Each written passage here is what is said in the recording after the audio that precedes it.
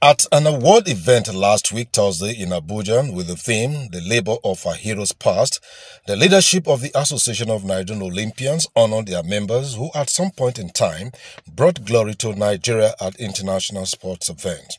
At the sidelines of the event, AIT Sports sought to find out from them the qualities of the man or woman who should be appointed the Minister of Sports by President Bola Tinubu. Morrison Campbell is a retired basketballer.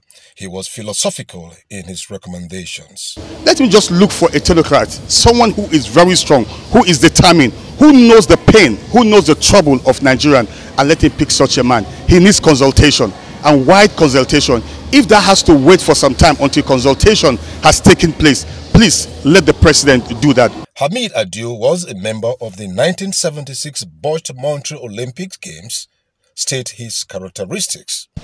We are tired and sick of having ministers that have no that has that have no sports background because they don't know where the soup pinches. If a, the minister of sports is somebody that is you know sports inclined, then they will know what it is for somebody to be on, on his marks to represent his country. For Emmanuel Babayaro, the man or woman must not be a retired athlete. I'm not one of those who say it has to be an, a, a former sports person or a former footballer. I would love for it to be a former sports person, but a former sports person who have empowered themselves in terms of knowledge, eh, in terms of acumen, in terms of capacity.